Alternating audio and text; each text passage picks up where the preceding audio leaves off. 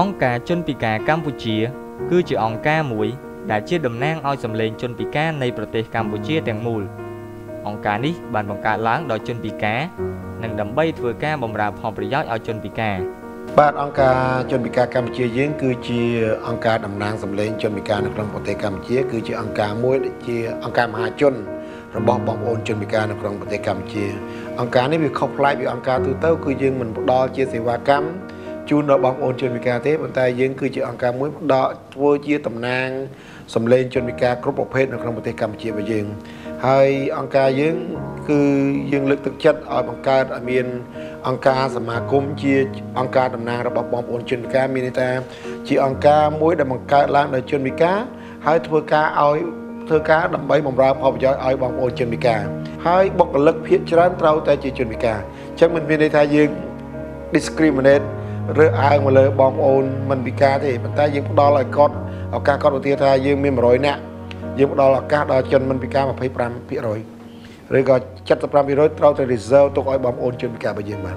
អង្គការនេះបានបង្កើតឡើងចាប់តាំងពីឆ្នាំ1994ដែលមានការជួយជ្រោមជ្រែងពីសំណាក់ប្រទេសហ្វាំងឡង់និងបណ្ដាអង្គការអន្តរជាតិមួយចំនួនទៀត អង្គការជនពិការកម្ពុជាយើងបង្កើតឡើងក្នុងឆ្នាំ1994ដែលមានការជ្រោមជ្រែងពីប្រទេសហ្វាំងឡង់កាលហ្នឹងហើយនឹងអង្គការ DPI អង្គការជនពិការអន្តរជាតិនៅលើពិភពលោកយើងហ្នឹងហើយដែលមានការចុះបញ្ជីជាមួយនឹងក្រសួងមហាផ្ទៃរបស់យើងហើយក្នុងនោះក៏យើងការយើងចាប់ដើមដំបូងហ្នឹងសម្ដេចនាយករដ្ឋមន្ត្រីលោកក៏បានធ្វើជាប្រធានកិត្តិយសឲ្យអង្គការជនពិការកម្ពុជារបស់យើងផងដែរបាទ កិច្ចការរបស់អង្គការគឺចូលរួមធ្វើយ៉ាងណាដើម្បីកាត់បន្ថយភាពលំបាករបស់ជនពិការនៅក្នុងប្រទេសដោយធ្វើទំនាក់ទំនងជាមួយរដ្ឋាភិបាលនិងបណ្ដាស្ថាប័នផ្សេងផ្សេងទៀតអង្គការជនពិការកម្ពុជាយើងជួយជំរុញឲ្យមានការទី1គឺយើងបានបង្កើតការស្រាវជ្រាវអំពីគេហៅថា evidence base ដើម្បី control support គំនិតជាគោលការណ៍ជាគោលមួយ ដល់រដ្ឋាភិបាលថាបច្ចុប្បន្នយើងជួបបញ្ហាលំបាកអីខ្លះហើយរដ្ឋាភិបាលគួរតែបំពេញចំណុចទាំងអស់នោះដោយរបៀបម៉េចដើម្បីបានដល់ជាផលប្រយោជន៍ដល់បងប្អូនជនពិការទី2យើងបានរៀបចំដោយមានវិទ្យុសម្លេងជនពិការរបស់យើងដែលមាននៅក្នុង3ខេត្តគឺខេត្តសៀមរាបខេត្តប្រស័យអនុនិងខេត្តស្វាយរៀងដែលយើងមានការផ្ដល់អាជ្ញាប័ណ្ណដោយរដ្ឋាភិបាលយើងដែលមានក្រសួង ព័ត៌មានមានឯកឧត្តមខៀវកញ្ញរិទ្ធលោកបានផ្ដល់ឱកាសដល់អង្គការជនការកម្ពុជាយើងដើម្បីរ៉ាន់ជាវិទ្យុរ៉ែផ្ទាល់ទី3គឺយើងមានរៀបចំជាអង្គការតំណាងយើងផ្ដល់ជាកញ្ចប់ថវិកាដល់អង្គការតំណាងចំនួន61អង្គការអង្គការតំណាងដែលជាសមាជិកសមាជិកសមាជិករបស់អង្គការជនពិការកម្ពុជា គឺយើងផ្ដល់ផ្នែកបច្ចេកទេសផ្នែកវិធីសាស្ត្រធ្វើការបញ្ចុះបញ្ចូលវិធីសាស្ត្រផ្សព្វផ្សាយហើយនឹងបង្កើតជាសម្ភារៈ នានាដើម្បីលុបបំបាត់ការរើសអើងមកលើបងប្អូនជនពិការនេះជាការងារចម្បងចម្បងដែលអង្គការជនពិការកម្ពុជាយើងបានធ្វើបច្ចុប្បន្នបាទសម្រាប់ផលលំបាកដែលអង្គការជនពិការកម្ពុជាបានជួបប្រទះគឺសមត្ថភាពជនពិការដែលជាបុគ្គលិករបស់អង្គការគឺនៅមានកម្រិតនៅឡើយហើយការគ្រប់គ្រងផ្នែកហិរញ្ញវត្ថុក៏នៅមានលក្ខណៈតិចតួចផលវិបាកដែលសំខាន់ដែលអង្គការជនពិការកម្ពុជាយើងបានជួបទីមួយយើងអាចនិយាយថាសមត្ថភាពរបស់បងប្អូនជនពិការយើងមានដែនកំណត់ជាពិសេស ថ្នាក់ដឹកនាំអង្គការតំណាងយើងតាមខេត្តភាគច្រើនគាត់តែសុទ្ធតែជាទាហានហើយអញ្ចឹងចំណេះដឹងរបស់គាត់អប់រំរបស់គាត់តិចតួចមែនទែនហើយទី2គឺកញ្ចប់ថវិកាក្នុងការគ្រប់គ្រងរបស់អង្គការតំណាងពីអង្គការជនពិការទៅពួកគាត់មានលក្ខណៈតិចតួច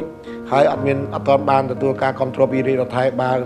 ជាកញ្ចប់ថវិកាជួយដល់អង្គការតំណាងនោះឡើយទេនេះគឺជាផលវិបាកដែលសំខាន់សំខាន់តើតើនឹង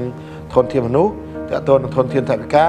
ហើយនឹងការអនុវត្តច្បាប់ដែលយើងគឺថាយើងមានច្បាប់មែនប៉ុន្តែការអនុវត្តច្បាប់របស់យើងការផ្សព្វផ្សាយច្បាប់របស់យើងនៅក្នុងប្រទេសកម្ពុជារបស់យើង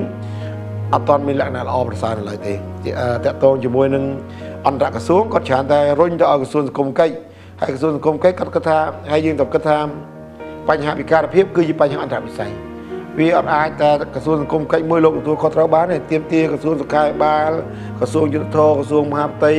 អន្តរក្រសួងទាំងអស់ឬអ្នក តាក់តែងគោលនយោបាយត្រូវយល់ថាយើងមានកាតព្វកិច្ចមួយក្នុងការជួយ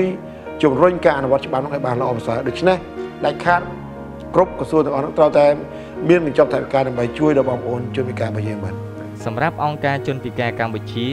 គឺធ្វើយ៉ាងណានៅតែបន្តទំនាក់ទំនងជាមួយនឹងក្រសួង និងស្ថាប័ននានាព្រមទាំងចូលរួមផ្សព្វផ្សាយ និងពង្រឹងច្បាប់ស្តីអំពីជនពិការឲ្យមានលក្ខណៈកាន់តែល្អប្រសើរបន្ថែមទៀតជាយុទ្ធសាស្ត្ររបស់អង្គការជនពិការកម្ពុជាយើងយើងនៅតែបន្តកិច្ចសហប្រតិបត្តិការជាមួយក្រសួងពាក់ព័ន្ធទាំងអស់ហើយយើងបន្តការបណ្ដុះបណ្ដាលដល់អន្តរក្រសួងឲ្យលោកយល់ដឹងអំពីច្បាប់ជនពិការឲ្យលោកយល់ដឹងអំពីអ្វីជាពិការភាពហើយអ្វីជាការចាំបាច់ក្នុងការបញ្ចូលជនពិការក្នុងផែនការ post MDG ឬក៏ក្នុងក្នុងផែនការអភិវឌ្ឍជាតិនានាដើម្បីធ្វើឲ្យជឿជាក់ថា គ្មានជនណាម្នាក់ត្រូវបានគេបំភ្លេចក្នុងការអនុវត្តផែនការជាតិទេទី2ទី3គឺយើងបន្តពង្រឹងគុណភាពរបស់អង្គការតំណាងរបស់យើងធ្វើម៉េចឲ្យសម្លេងជនពិការនឹងបានលឺដល់រដ្ឋាភិបាលហើយយើងមិនមែនជាគណៈបកនយោបាយទេប៉ុន្តែយើងលឺនេះគឺលឺអំពីបញ្ហានិងផលវិបាកនិងផ្ដល់អនុសាសន៍ជូនដល់រដ្ឋាភិបាលដើម្បីធ្វើយ៉ាងណាឲ្យគ្រប់អ្នកតាក់តែងគោលនយោបាយលោកយល់ថាបញ្ហាវិការភាពមិនមែនជាបញ្ហារបស់ក្រសួងតែមួយទេ ប៉ុន្តែវាជាបញ្ហាអន្តរវិស័យទាមទារឲ្យអន្តរក្រសួងនឹងលោកដាក់កញ្ចប់ថវិកាដើម្បីអនុវត្តច្បាប់ដើម្បីជួលជនពិការដើម្បីធ្វើយ៉ាងណាឲ្យជនពិការមានឱកាសដោយអ្នកមិនពិការ